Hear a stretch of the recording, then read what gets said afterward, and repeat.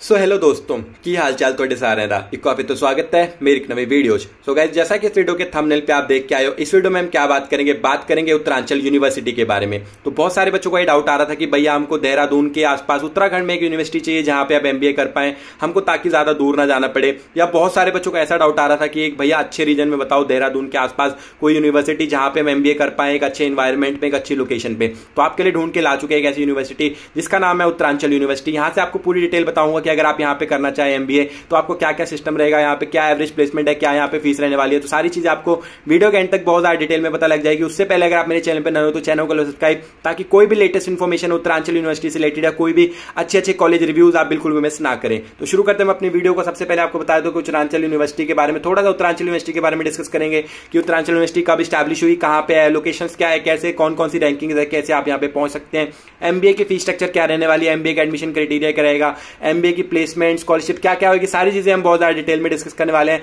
तो सबसे पहले आपको बता दूँ कि उत्तरांचल यूनिवर्सिटी है, जो 2013 में स्टैब्लिश हुई है। देहरादून, उत्तराखंड में यूनिवर्सिटी है प्राइवेट यूनिवर्सिटी है। अस्सी से सौ एकड़ का कैंपस है, काफ़ी बड़ा कैंपस है। कोर्सेज भी यहाँ पे वन कोर्सेज है टोटल ऑफ़र किए जाते हैं ट्वेंटी फोर डिग्रीज ऑफ़र की जाती है। एनआरएफ रैंकिंग की बात करें तो वन फिफ्टी से दो सौ के बीच में इनकी टोटल रैंकिंग है इंजीनियरिंग के बारे में। एक्रीडेशन की बात करें तो एमबी अप्रूव्ड है नैक की ए प्लस ग्रेड यूनिवर्सिटी है। यूजीसी अप्रूव्ड है बार काउंसिल ऑफ़ इंडिया से भी अप्रूव्ड है तो काफ़ी अच्छी यूनिवर्सिटी आपको देखने को मिल जाएगी। हाईएस्ट पैकेज की बात करें तो 22.5 एलपीए का हाईएस्ट पैकेज है, जो कि डोमेस्टिक पैकेज है इंडिया में। 1.5 सीआर का मतलब कि डेढ़ करोड़ का इंटरनेशनल पैकेज है, जो कि इनके, यहाँ के बच्चे ने क्रैक किया है। कनेक्टिविटी की बात करें तो 40 किलोमीटर है एयरपोर्ट से, ठीक है, देहरादून एयरपोर्ट से 15 किलोमीटर है, देहरादून रेलवे स्टेशन से। तो कनेक्टिविटी भी काफ़ी अच्छी है, बहुत ईजिली आप यहाँ पे पहुँच सकते हैं। बहुत ही अच्छी और बड़ी यूनिवर्सिटी है जो आज जहाँ पे आपको पढ़ने के लिए काफ़ी अच्छा रह सकता है। एडमिशन प्रोसेस काफ़ी ज़्यादा सिंपल है, कोई आपको अदर एग्ज़ाम नहीं देना, ठीक है? सिर्फ़ आपको रजिस्टर करना है, नीचे डिस्क्रिप्शन में दिए गए लिंक से फॉर्म फिलअप करना है, अपनी सारी डिटेल्स वगैरह डालनी है, अगर आप एलिजिबल होंगे तो फ़ीस पेमेंट करनी और आपकी एडमिशन है जो डन हो जाएगी। कोई भी अलग चीज़ आपको देने की ज़रूरत नहीं एडमिशन प्रोसेस और भी ज़्यादा डिटेल में डिस्कस करेंगे, जब एम एम के बारे में पूरा पहले डिटेल में डिस्कस कर लेते हैं, फिर उसके बाद यहाँ पे आपको एडमिशन प्रोसेस भी बता दूँगा अच्छे से ताकि आपको समझ आए। तो सबसे पहले हम अगर बात करें, यहाँ पे जो एमबीए ऑफ़र की जाती है एमबीए की स्पेशलाइजेशन भी ऑफ़र की जाती है, अगर आप करना चाहें तो सबसे पहले जो यहाँ पे आती है कि आपको जो फ़ीस वगैरह बता देते हैं कि एमबीए की आपकी कितनी फ़ीस रहने वाली है। तो यहाँ पे ना फ़ीस है जो दो पार्ट्स में बांटी जाती है। एक होते हैं जो उत्तराखंड से भी बच्चे बिलोंग करते हैं, उनके लिए अलग कोटा रहता है और जो उत्तराखंड के बाहर के बच्चे होते हैं, उनके लिए अलग कोटा रहता है। तो अगर हम उत्तराखंड के बच्चों की बात करें तो अगर आपको यहाँ पे कोई भी स्कॉलरशिप यहाँ पे ना स्कॉलरशिप भी काफ़ी ज़्यादा ऑफ़र की जाती है। अगर आपकी ग्रेजुएशन में नाइन्टी से ज़्यादा मार्क्स है तो आपको फ़र्स्ट कैटेगरी की स्कॉलरशिप मिलती है, जिसमें आपको तीस हज़ार का फ़ायदा मिलता है। एट्टी से नाइन्टी के बीच में मार्क्स है तो आपको ट्वेंटी ट्वेंटी थाउज़ेंड रुपीज़ की स्कॉलरशिप मिलती है। सेवेंटी से एट्टी के बीच में मार्क्स है एट्टी परसेंट के बीच में मार्क्स है तो आपको टेन थाउज़ेंड की स्कॉलरशिप मिलती है और सेवेंटी परसेंट से अगर आपकी ग्रेजुएशन में कम है तो कोई भी आपको स्कॉलरशिप नहीं मिलती है। तो मैं आपको यहाँ पे बता देता हूँ कि एक सेमेस्टर की आपकी फ़ीस है जो रहने वाली है एक लाख रुपए। अगर आपको कोई भी स्कॉलरशिप यहाँ पे नहीं मिल रही है, बिना किसी स्कॉलरशिप के उत्तराखंड के जो बच्चे हैं, उनकी एक सेमेस्टर की फ़ीस रहेगी एक लाख रुपए और दूसरे सेमेस्टर की भी रहेगी एक लाख रुपए। तो टोटल आपकी यहाँ पे जो फ़ीस रहने वाली है, दो लाख तीस हज़ार के आसपास मतलब यहाँ पे जो आप देख रहे हैं ना, दो लाख तीस हज़ार के आसपास आपकी आप यहाँ पे पूरी फ़ीस रहने वाली है, जो नेट फ़ीस आपकी रहेगी, अगर आपको कोई भी स्कॉलरशिप यहाँ पे नहीं मिलती है। लेकिन अगर आप थर्ड कैटेगरी की स्कॉलरशिप में आते हैं तो आपको देनी है दो लाख ग्यारह हज़ार रुपए सेकंड कैटेगरी में आते तो देनी है एक लाख नब्बे हज़ार रुपए और फ़र्स्ट कैटेगरी की अगर स्कॉलरशिप में आते तो आपको मिलती है एक लाख एक आपकी जो फ़ीस रह जाएगी एक लाख सत्तर हज़ार रुपए तो मैं कंसिडर कर रहा हूँ कि आपको कोई भी स्कॉलरशिप नहीं मिल रही है। तो उत्तराखंड के जो बच्चे हैं, उनकी एक साल की जो फ़ीस रहेगी दो लाख दो लाख तीस हज़ार रुपए रहेगी और दो साल की फ़ीस आप कह रखते हैं, पाँच लाख रुपए में आपकी टोटल एमबीए जो यहाँ पे कंप्लीट हो जाएगी। उसके बाद अगर हम बात करें जो उत्तराखंड के बाहर के बच्चे हैं, उनके अगर कोई भी स्कॉलरशिप नहीं मिलती है स्कॉलरशिप अमाउंट सेम है अगर आपके मतलब की नाइन्टी से ज़्यादा मार्क्स है ग्रेजुएशन में तो आपको जो स्कॉलरशिप मिलती है थर्टी थ्री थाउज़ेंड रुपीज़ की मिलती है। और अगर आपके यहाँ पे एट्टी से नाइन्टी के बीच में मार्क्स है तो आपको ट्वेंटी टू थाउज़ेंड की स्कॉलरशिप मिलती है ऐसे करके। तो यहाँ पे भी चार कैटेगरीज है। यहाँ पे फ़र्स्ट सेमेस्टर की जो आपकी फ़ीस रहने वाली है, बिना किसी स्कॉलरशिप की एक लाख दस रुपये रहने वाली एक लाख दस हज़ार रुपये रहने वाली है। और इसी तरह अगर आप सेकेंड सेमेस्टर की फ़ीस की बात करें तो वहाँ पर भी आपकी जो रहने वाली है, एक लाख दस हज़ार रुपए। फ़ीस अदर फ़ीस यहाँ पे जो आप कैलकुलेट करने वाले हैं, ठीक है? अदर फ़ीस यहाँ पे आपको पूरी दे रखी है कि आपको कितनी जो है एनरोलमेंट फ़ीस देनी है। एडमिशन फ़ीस दस हज़ार रुपये एनरोलमेंट फ़ीस आपकी दो हज़ार रुपये, ठीक है? क्वेश्चन फ़ीस आपकी दो हज़ार रुपये एग्जामिनेशन फ़ीस आपकी फोर्टी सिक्स हंड्रेड रहने वाली है। लाइब्रेरी की आठ सौ रुपये फ़ीस देने वाली है। तो टोटल आठ हज़ार रुपये आपकी हो जाएँगे ऑप्शनल फ़ीस ठीक है ऑप्शनल फ़ीस आपके हॉस्टल मेस ये सब मिला के टोटल आपकी जो फ़ीस यहाँ पे बन जाती है ना, ये आपको कैलकुलेट कर सकते हैं।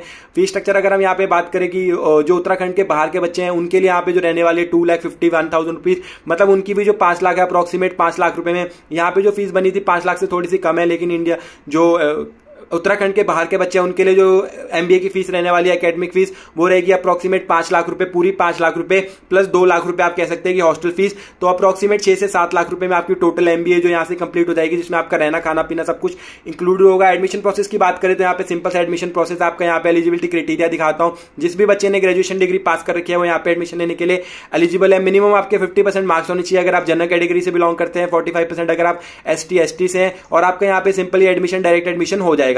तो उनमें से आपको कोई भी आपको मैट जेड जैम एड में अगर आपने कोई एग्ज़ाम दे रखा है तो इनके आप जो स्कॉलरशिप जो अपने, क्या बोलते हैं कि अपने रिपोर्ट कार्ड से दिखा सकते हैं और यहाँ पे एडमिशन ले सकते हैं। एडमिशन प्रोसेस बिल्कुल सिंपल है। नीचे डिस्क्रिप्शन में दिए गए लिंक से आपको रजिस्टर करना है। रजिस्टर कर से काउंसलर रजिस्टर करते ही काउंसलर आपको फ़ोन जाएगा। सारे डॉक्यूमेंट्स वगैरह आपको सबमिट करने हैं। अगर आप एलिजिबल होंगे यहाँ पे एडमिशन लेने के लिए तो आपको फ़ीस पेमेंट के लिए लिंक आएगा। फ़ीस पेमेंट करते आपकी एडमिशन है जो यहाँ पे डन हो जाएगी। और फ़र्स्ट फ़र्स्ट या सेकंड वीक ऑफ़ अगस्त से जो आपकी क्लासेस वगैरह, वो भी यहाँ पे एडमिशन स्टार्ट हो जाएँगी। तो सिंपल सी यहाँ पे, ठीक है? यहाँ पे आपको एक बात बता दूँ कि 40 परसेंट जो सीट्स है, उत्तराखंड वाले बच्चों के लिए रिज़र्व है तो अगर आप यहाँ पे एडमिशन लेना चाहते हैं तो जल्दी से जल्दी एडमिशन लेने, क्योंकि यहाँ पे जो स्टूडेंट कोटा मतलब यहाँ पे जो कोटा है ना, वो मतलब जो स्टूडेंट इनटेक है, वो लिमिटेड रहता है। उसमें से भी student intake forty percent Uttarakhand के बच्चों का है तो बाहर वाले बच्चों के लिए काफ़ी कम ज़्यादा सीट्स बचती है। तो अगर आप एडमिशन लेना चाहते हैं, जल्दी से जल्दी एडमिशन ले सकते हैं। सेमेस्टर की बात करें तो यहाँ पे आपको पूरा कैलिकुलम बता रखा है कि पहले यहाँ पे आपको पहले सेमेस्टर में यहाँ पे सात सब्जेक्ट्स रहने वाले हैं। सेकंड यहाँ पे सेकंड सेमेस्टर में आपको सात सब्जेक्ट्स रहेंगे। तो सारे सब्जेक्ट्स वगैरह वो भी सारे आपको बता रखे क्या क्या देखते हैं। रिक्रूटमेंट की बात करें तो टॉप रिक्रूटर से इनके जो है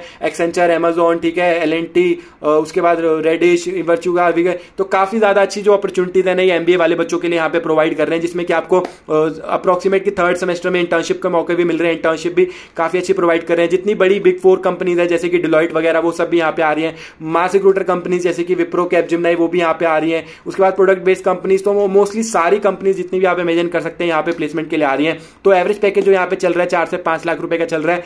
बात करें अगर एमबीए की चार से पाँच लाख रुपए का एवरेज पैकेज चल रहा है हाईएस्ट पैकेज की बात करें तो बारह से तेरह लाख, बारह से तेरह लाख का हाईएस्ट पैकेज आज तक है। कंपनीज़ ऐसी भी आ रही है जो कि बीस से पच्चीस लाख का पैकेज यहाँ पे ऑफ़र कर रही है, लेकिन जो बच्चे हैं वो उस पैकेज को क्रैक नहीं कर पा रहे हैं क्योंकि लैक ऑफ़ नॉलेज या लैक ऑफ़ मेहनत की वजह से। तो अगर आप यहाँ पे चाहें तो काफ़ी कम पैसे में अपनी एमबीए भी कंप्लीट कर सकते हैं और आप काफ़ी अच्छी लोकेशन पे, जैसे देहरादून जैसे शहर में पढ़ सकते हैं। पहाड़ों से घिरे हुए होंगे, जहाँ पे आपका एटमोस्फेयर काफ़ी अच्छा रहेगा कैंपस काफ़ी बड़ा है। एवरेज प्लेसमेंट भी वर्थ है यार, अगर मतलब यहाँ पे चार से पाँच लाख रुपए लगा रहे हो, अगर आपको चार या पाँच पाँच लाख रुपए पैकेज भी आप यहाँ पे क्रैक कर लेते हो तो दो साल में आप अपने दस लाख रुपए रिकवर कर लेते हो। जिससे कि return of investment approximate one हो जाती है। तो वो काफ़ी अच्छा फैक्टर रहता है कि अगर आप यहाँ पे जितने पैसे आपने लगाए हैं, उतने भी अगर आप सेम साल में रिकवर कर लो तो वो भी रिटर्न ऑफ़ इन्वेस्टमेंट काफ़ी अच्छी रहती है। तो अगर आप यहाँ पे एडमिशन लेना चाहते हैं। तो वैसे तो काफ़ी ज़्यादा अफोर्डेबल है यूनिवर्सिटी भी। तो स्कॉलरशिप भी अगर आपको मिल रही है, अगर आपने ग्रेजुएशन में अच्छा स्कोर किया हुआ है तो यहाँ पे आपके प्लेसमेंट के चांसेस काफ़ी ज़्यादा अच्छे हैं। क्योंकि यहाँ पे स्टूडेंट इंटेक कम रहेगा स्टूडेंट इंटेक कम रहेगा तो टीचर्स आपके ऊपर ज़्यादा फोकस करेंगे। कंपनीज़ अच्छी अच्छी आ रही है, जो अच्छे अच्छे पैकेज ऑफ़र कर रहे हैं तो यहाँ पे आपको प्लेसमेंट मिलने के चांसेस हैं, जो काफ़ी ज़्यादा बढ़ जाते हैं। लेकिन उसके बाद, उसके साथ आपको ये ध्यान ज़रूर रखना है कि आपका प्रीवियस एकेडमिक रिकॉर्ड अच्छा होना चाहिए, अगर आप यहाँ पे अच्छी प्लेसमेंट लेना चाहते हैं। जैसे कि टेंथ ट्वेल्थ और डिग्री आपका प्रीवियस एकेडमिक रिकॉर्ड अच्छा होना चाहिए। फिर से आपको बताया तो कैसे आपको अप्लाई करना है? नीचे डिस्क्रिप्शन में दिए गए डायरेक्ट लिंक एप्लीकेशन फॉर्म का जो आप फिल कर सकते हैं डॉक्यूमेंट सबमिशन करनी है और आपको अपनी फ़ीस पेमेंट करनी है और आपकी एडमिशन यहाँ पे डन हो जाएगी। तो आई होप मैंने आपको सारी इन्फॉर्मेशन शेयर कर दी होगी, ठीक है? अगर आपको फिर भी कोई डाउट है एमबीए से रिलेटेड नीचे, मुझे कमेंट्स वगैरह में पूछ सकते हो। मिलते हैं इसे अगली किसी वीडियो में, तब तक के लिए बाय बाय